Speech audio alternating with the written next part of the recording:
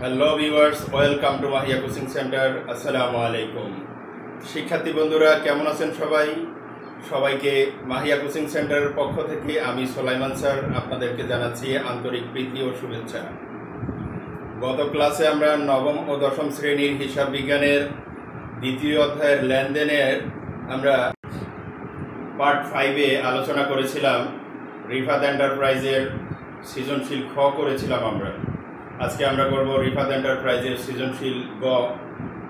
এক নাম্বার সৃজনশীল গ। এখানে লেখা আছে, রিফাত এন্টারপ্রাইজের হিসাব সমীকরণের উপর লেনদেনের প্রভাব। আমরা এখানে বন্ধুরা একটা শখ দেখতে পাচ্ছি, এটা হচ্ছে হিসাব সমীকরণের একটা শখ। এই শখের প্রথমে এখানে লেখা আছে তারিখ। বন্ধুরা, আমরা এখানে একটা তারিখের ঘর দিব, তারপর একটা উদ্বৃত্তর ঘর দিব। এখানে সম্পদ সমান দায় ও মালিকানা সত্য। তাই এখানে সম্পদ লিখলাম, নগদ ও ব্যাংক।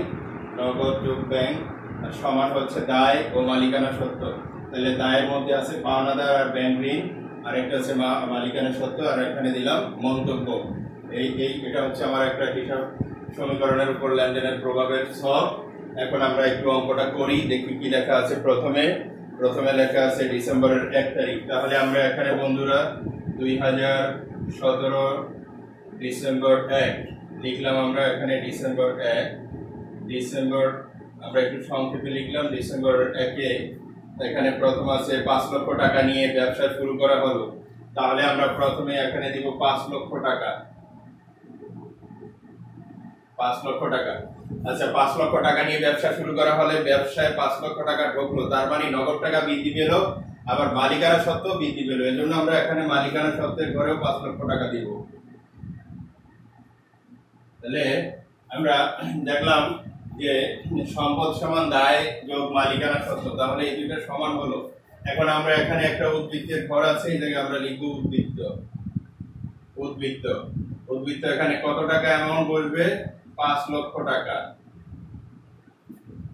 তাহলে এভাবে আমরা একটু কমা দিয়ে দিব তাহলে আমাদের জন্য করতে সুবিধা হবে। পাঁচটা শূন্য হ্যাঁ, পাঁচটা শূন্য দিলে লক্ষ হয়। তাহলে পাঁচ লক্ষ টাকা আমাদের উদ্বৃত্ত বের হয়ে গেল। এর পরের লেনদেনটা ডিসেম্বরের তিন। তাহলে ডিসেম্বর তিন। ডিসেম্বর তিন তারিখ। তিন তারিখে কি বলছে বন্ধুরা? ব্যাংকে পঞ্চাশ হাজার টাকা নিয়ে হিসাব খোলা হলো। তাহলে ব্যাংকে পঞ্চাশ হাজার টাকা নিয়ে হিসাব খোলায় ব্যাংক কিন্তু একটা সম্পদ, আর নগদ টাকাও একটা সম্পদ। নগদ টাকাটা ব্যাংকে চলে গেছে। তার মানে ব্যবসায়ের ক্যাশ বাক্স খালি হয়েছে, ব্যাংক বৃদ্ধি পেয়েছে। তাই না? তাহলে আমরা কি করতে পারি বন্ধুরা? এখান থেকে খালি করে দিব পঞ্চাশ হাজার টাকা। আমরা এই টাকাটা খালি করে কোথায় নিয়ে যাব? এটা ব্যাংকের মধ্যে চলে গেছে। তাহলে বন্ধুরা, আমরা বুঝতে পারলাম, নগদ টাকাও একটা সম্পদ, ব্যাংকও একটা সম্পদ। আমরা বলছিলাম যে একটা সম্পদ বৃদ্ধি পেলে আরেকটা সম্পদ হ্রাস পায়। যদি পাওনাদার বৃদ্ধি পায়, তাহলে মালিকানা সত্ত্ব হ্রাস পায়। আবার মালিকানা সত্ত্ব বৃদ্ধি পেলে পাওনাদার অথবা ব্যাংক ঋণ এগুলো হ্রাস পায়। এজন্য এখানে একটা সম্পদ হ্রাস পেয়ে আরেকটা সম্পদ বেড়ে গেল। এরপরে আমরা এখন কি করব? আমরা উদ্বৃত্ত নিব। আমরা প্রত্যেকটা হিসাবের পরে উদ্বৃত্ত টেনে দিব বন্ধুরা, আমরা প্রত্যেকটা হিসাবের পরে আমরা উদ্বৃত্ত টেনে দিব এখন এখানে যদি আমরা বিয়োগ করি, তাহলে হবে চার লক্ষ চার লক্ষ পঞ্চাশ হাজার, তাই না? চার লক্ষ পঞ্চাশ হাজার। আর এখানে আছে পঞ্চাশ হাজার, তাহলে আমাদের কত টাকা হলো টোটাল? পাঁচ লক্ষ। তাহলে এই যে সমান চিহ্ন দিলাম এই দিকেও আমাদের কয় লক্ষ টাকা হলো? পাঁচ লক্ষ। তাহলে আমরা বুঝতে পারলাম সম্পদ সমান দায় ও মালিকানা সত্ত্ব এটা সমান হইল। বন্ধুরা, এর পরের লেনদেনটা কি আছে? আমরা একটু দেখে নেই। পরের লেনদেন বলছে ডিসেম্বরের পাঁচ তারিখে ধারে পণ্য ক্রয় পঁচিশ হাজার টাকা। বন্ধুরা, ধারে পণ্য ক্রয় ক্রয় করলেই ব্যবসায়ের মালিকানা সত্ত্ব হ্রাস পায়।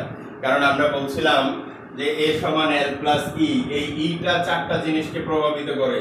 একটা হচ্ছে ক্যাপিটাল, আরেকটা হচ্ছে রেভিনিউ, আরেকটা হচ্ছে এক্সপেন্স, আরেকটা হচ্ছে ড্রয়িং। এখন পণ্য ধারে ক্রয় করুক আর নগদে ক্রয় করুক, যদি ক্রয় করে তাহলে আমাদের কি হয়? ক্রয় মানে হচ্ছে একটা খরচ। খরচ মানে এক্সপেন্স। এক্সপেন্সের আগে কি লেখা আছে? মাইনাস চিহ্ন। মাইনাস মানে হ্রাস পাওয়া। তাহলে মালিকানা সত্ত্ব হ্রাস পাবে। তাহলে বন্ধুরা, আমরা কি করব? ধারে ধারে পণ্য ক্রয় আমরা মালিকানা সত্ত্বকে হ্রাস করে দিব? আমরা এখানে পঞ্চাশ পঁচিশ হাজার টাকাকে হ্রাস করে দিলাম, পঁচিশ হাজার টাকা। আমরা এখানে কত লিখলাম? পঁচিশ হাজার টাকা লিখলাম। আরেকটা অ্যামাউন্ট আমরা কোথায় বসাবো বন্ধুরা? ধারে যেহেতু পণ্যটা কি করেছে? ক্রয় করেছে, তাহলে পাওনাদারটা বেড়ে গেল। তাহলে এই পাওনাদারটা আমরা এখানে বাড়িয়ে দিলাম। আমরা বলছি, যদি মালিকানা সত্ত্ব হ্রাস পায়, তাহলে পাওনাদার বৃদ্ধি পাবে মানে এল বৃদ্ধি পাবে, যদি ই হ্রাস পায়। আবার ই যদি, এল যদি হ্রাস পায়, তাহলে ই বৃদ্ধি পাবে। তাহলে জিনিসটা আমরা বুঝতে পারলাম। এখন আমরা এখানে কি করব? আবার আমরা একটা উদ্বৃত্ত লিখব। তাহলে উদ্বৃত্ত মানে কি? উদ্বৃত্ত মানে ব্যালেন্স ইংরেজিটা আমরা ভালো বুঝি না? তাহলে এখানে দেখি আমার ব্যালেন্সটা কত আছে বন্ধুরা? চার লক্ষ পঞ্চাশ হাজার। আমরা এখানে চার লক্ষ পঞ্চাশ হাজার, আর এই হচ্ছে পঞ্চাশ হাজার। তাহলে কত হলো বন্ধুরা? পঞ্চাশ হাজার আর চার লক্ষ পঞ্চাশ হাজার সমান হচ্ছে পাঁচ লক্ষ। তাই না? কত হয়েছে? পাঁচ লক্ষ। এখান থেকে যদি আমি বন্ধুরা পঁচিশ হাজার বাদ দিই, তাহলে চার লক্ষ পঁচাত্তর হাজার হবে। আর এই যে এখানে কি আছে পঁচিশ হাজার? এই পঁচিশ হাজার এখানে যোগ করে দিলে হয় কত? পাঁচ লক্ষ। তাহলে আমরা দেখতে পেলাম সম্পদ সমান দায় ও মালিকানা সত্ত্ব দেখো বন্ধুরা, এই যে এখানে যোগ করলাম, চার লক্ষ পঁচাত্তর হাজার আর এই পঁচিশ হাজার। তাহলে পাঁচ লক্ষ হয়ে গেল। তাহলে এদিকেও আমাদের পাঁচ লক্ষ হইল এদিকেও আমাদের কত আছে? পাঁচ লক্ষ। এবার আমরা কি করব? পরের অ্যামাউন্টে চলে যাই বন্ধুরা। এটা হচ্ছে ডিসেম্বরের পাঁচ তারিখ ছিল, তারপরে ডিসেম্বরের সাত তারিখ। এখন আমরা দিব ডিসেম্বরের সাত। সাথে কি আছে? সাথে আছে নগদে পণ্য বিক্রয় পঁয়তাল্লিশ হাজার টাকা। তাহলে নগদে যদি পণ্য বিক্রয় করে, পণ্য বিক্রয় মানে একটা আয়। আয় মানে কি? এই যে রেভিনিউ রেভিনিউ এখানে কি আছে বন্ধুরা? প্লাস চিহ্ন আছে।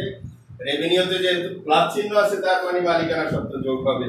তাহলে আমরা এখন কি করব? নগদের পণ্য বিক্রয়, এই পঁয়তাল্লিশ হাজার টাকা আমরা যোগ করে দিব। আমরা এখন এখানে পঁয়তাল্লিশ হাজার টাকা যোগ করে দেই। পঁয়তাল্লিশ হাজার টাকা।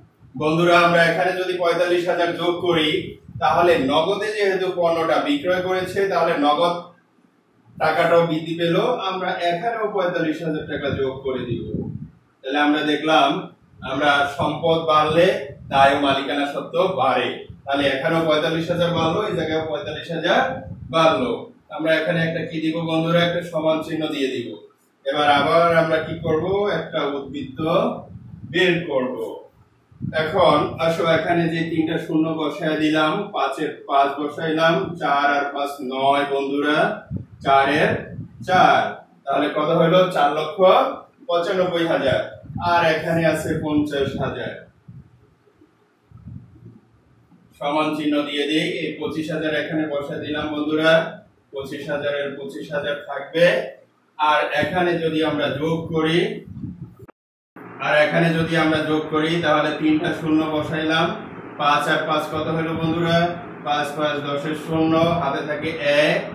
এক আর সাত আট আট আর চার বারো, বারোর দুই। হাতে থাকে কত? এক। এক আর চার, পাঁচ। পাঁচ লক্ষ বিশ হাজার। তাহলে পাঁচ লক্ষ বিশ হাজার, আর এখানে আছে পঁচিশ হাজার। কত হলো বন্ধুরা? পাঁচ লক্ষ পঁয়তাল্লিশ হাজার। তাহলে আমরা দেখি, এখানে পঁচানব্বই আর হচ্ছে পঞ্চাশ হাজার। এখানেও আমাদের পাঁচ লক্ষ পঁয়তাল্লিশ হাজার হয়ে গেল। তাহলে দেখলাম দুই সাইড সমান।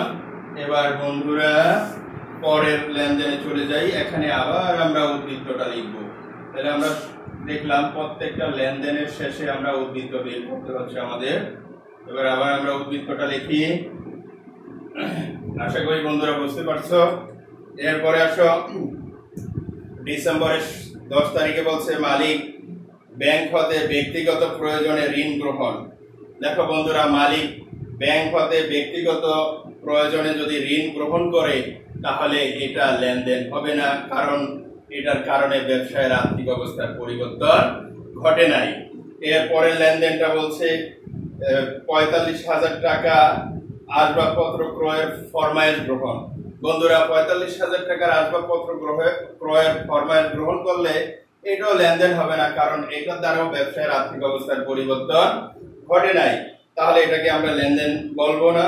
এরপরে আছে ডিসেম্বরের বিশ তারিখে পাওনাদারকে পরিশোধ পনেরো হাজার টাকা। এটা লেনদেন। পাওনাদারকে পরিশোধ করলে ব্যবসায় নগদ টাকা চলে যায়। আবার কি হয়? পাওনাদারটাও হ্রাস পায়। তাহলে কত টাকা? পনেরো হাজার টাকা। পাওনাদারকে পরিশোধ। আমরা তাহলে করব ডিসেম্বরের বিশ তারিখ। ডিসেম্বরের বিশ, এখানে পাওনাদারকে পরিশোধ কত? পনেরো হাজার টাকা। লিখলাম আমরা এখানে পনেরো হাজার। বন্ধুরা, নগদ টাকা যেহেতু পরিশোধ করতে হয়েছে এই জন্য আমরা এই টাকাটা এখানে লিখব। আবার পাওনাদারের থেকে হ্রাস এখানেও আমরা কি করব? লিখে দিব। তাহলে পাওনাদারকে পরিশোধ করছে নগদ টাকায়। নগদ টাকায় পাওনাদারকে পরিশোধ করছে নগদ টাকাটাও হ্রাস পেল, আবার এদিকে পাওনাদারও হ্রাস পেল। তাহলে আমরা দেখলাম এদিকে যদি হ্রাস পায়, সম্পদ হ্রাস পেলে দায় মালিকানা সত্ত্ব হ্রাস পায়। সম্পদ বৃদ্ধি পেলে দায় মালিকানা সত্ত্ব বৃদ্ধি পায়। আবার একটা সম্পদ হ্রাস পেলে আরেকটা সম্পদ বৃদ্ধি পায়। আবার দেখলাম পাওনাদার যদি বৃদ্ধি পায়, তাহলে মালিকানা সত্ত্ব হ্রাস পায়। তাহলে আমরা বুঝতে পারলাম আমাদের অঙ্কটা শেষ। এবার আমরা একটু উদ্বৃত্তটা টেনে নেই, দেখি আমাদের অঙ্কের উদ্বৃত্তটা ঠিক আছে কিনা বন্ধুরা। এখানে কত হবে? পাঁচ লক্ষ বিশ হাজার। পাঁচ লক্ষ বিশ হাজারটা আমরা এখানে লিখলাম বন্ধুরা।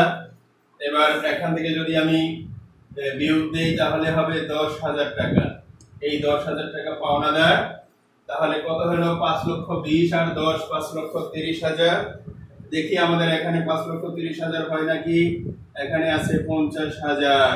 আর এই জায়গায় যদি আমরা বিয়োগ করি, এই তিন শূন্য আমরা এখানে বসায় দিলাম।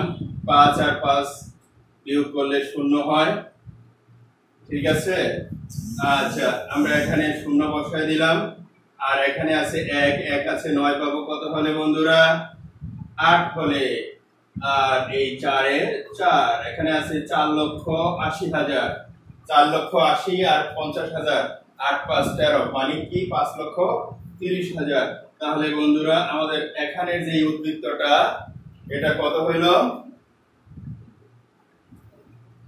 এটা হলো পাঁচ লক্ষ পাঁচ লক্ষ তিরিশ হাজার। কত হইল বন্ধুরা? পাঁচ লক্ষ তিরিশ হাজার। এটাকে আমরা ডাবল দাগ দিয়ে দিব। এরপরে এখানে আছে কত? এই দুইটা যদি আমরা যোগ করি, তাহলেও হবে আমাদের পাঁচ লক্ষ তিরিশ হাজার। ঠিক আছে না বন্ধুরা? তাহলে আমরা বুঝতে পারছি, এখানে আমরা ডাবল দাগ দিয়ে দিব। কি করব আমরা এখানে? একটা ডাবল দাগ দিয়ে দিব। তাহলে আমরা এখানে বন্ধুরা, রিফাত এন্টারপ্রাইজের হিসাব সমীকরণের উপর লেনদেনের প্রভাবে প্রভাব মানে কি? প্রভাব হচ্ছে এ সমান এল প্লাস ই এটা আমাদেরকে দেখাতে হবে যে এ সমান এল প্লাস ই কথাটা সঠিক কিনা। তাহলে এ মানে কি? এ মানে হচ্ছে অ্যাসেট অ্যাসেট মানে সম্পদ। সম্পদ সমান দেখাতে হবে দায় ও মালিকানা সত্ত্ব ঠিক আছে কিনা। দায় আর মালিকানা সত্ত্ব যদি যোগ করি এল মানে হচ্ছে লাইবিলিটি দায়, আর ই মানে হচ্ছে ইকুইটি মালিকানা সত্ত্ব তাহলে আমরা দেখলাম যে দায় ও মালিকানা সত্ত্ব সমান হচ্ছে অ্যাসেট এবং এটাও আমরা প্রমাণ করে দিলাম সম্পদ সমান দায় মালিকানা সত্ত্ব আমরা দায় মালিকানা সত্ত্বেও পাঁচ লক্ষ তিরিশ হাজার টাকা বের করছি এবং সম্পদেও আমরা পাঁচ লক্ষ তিরিশ হাজার টাকা বের করছি। তাহলে বন্ধুরা, আমরা বুঝতে পারলাম যে সম্পদ সমান দায় মালিকানা সত্ত্ব এই দুইটা সমান।